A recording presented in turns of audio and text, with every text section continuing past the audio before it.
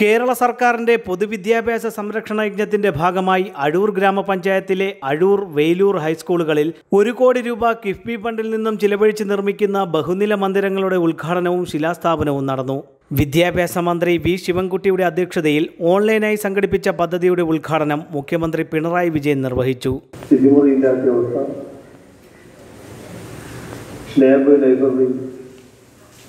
അങ്ങനെ സ്കൂളിന് ആവശ്യമായ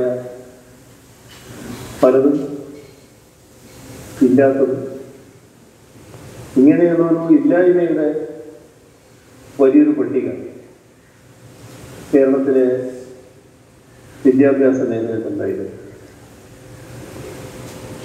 ഇതിന് പരിഹാരം കാണണം എന്ന് ചെയ്തു അങ്ങനെയാണ് അടിസ്ഥാന സൗകര്യ വികസനത്തിനുള്ള നടപടികൾ കൈക്കൊണ്ടത്. അഴൂർ ഗ്രാമപഞ്ചായത്ത് പ്രസിഡന്റ് ആർ അനിൽ അധ്യക്ഷനായി അഴൂർ വെയിലൂർ ഹൈസ്കൂൾ അങ്കണങ്ങളിൽ സംഘടിപ്പിച്ച ചടങ്ങിൽ Chirayinkeezhu M L A V Sasi ബഹുനില മന്ദിരങ്ങളുടെ ശിലാസ്ഥാപന കർമ്മം നിർവഹിച്ചു.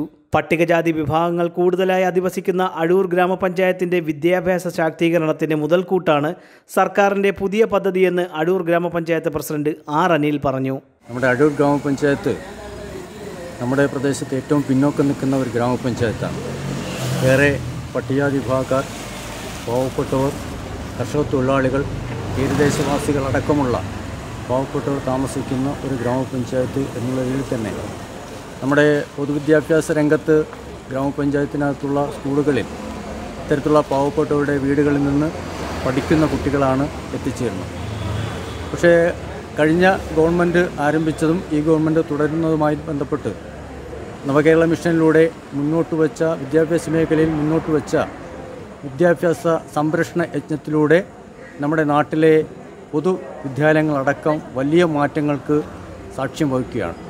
നമ്മുടെ കേരള മുഖ്യമന്ത്രി ശ്രീ പിണറായി വിജയൻ കേരളത്തിലെ പുതുതായി ആരംഭിക്കാൻ പോകുന്ന വിദ്യാലയങ്ങളുടെ ഉദ്ഘാടനം ഓൺലൈനിലൂടെ നിർവഹിച്ചു കഴിഞ്ഞു നമ്മുടെ ഗ്രാമപഞ്ചായത്തിലും ഈ പറയപ്പെടുന്നത് പോലെ തന്നെ അഴൂർ ഹയർ സെക്കൻഡറി സ്കൂളിലും ബേലൂർ ഹൈസ്കൂളിലും ഇത്തരത്തിൽ കിഫ്ബിയുടെ ഫണ്ട് വിനിയോഗിച്ചുകൊണ്ടുള്ള ഓരോ കോടി രൂപയുടെ പുതിയ ബിൽഡിംഗ് ആരംഭിക്കുകയാണ്.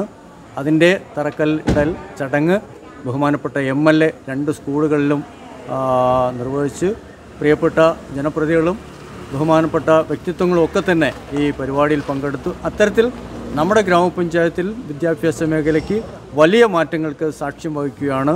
ഇവിടെ ഈ പറഞ്ഞ പോലെ തന്നെ സാമൂഹ്യമായും സാമ്പത്തികമായും പിന്നോക്കം നിൽക്കുന്ന കുട്ടികൾ ഓൺലൈൻ വിദ്യാഭ്യാസം സൗകര്യമില്ലാത്ത കുട്ടികൾക്ക് ഓൺലൈൻ വിദ്യാഭ്യാസം അടക്കമുള്ള സൗകര്യങ്ങൾ നേടിക്കൊടുക്കുന്നതിന് വേണ്ടിയിട്ടുള്ള തീവ്രമായിട്ടുള്ള പരിശ്രമം എല്ലാവരെയും ചേർത്ത് നിർത്തിക്കൊണ്ട് ഗ്രാമപഞ്ചായത്ത് നടത്തുകയാണ്.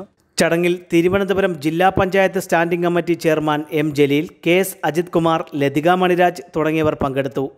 വിസ്മയ ന്യൂസ് ചിറയൻകീഴ്.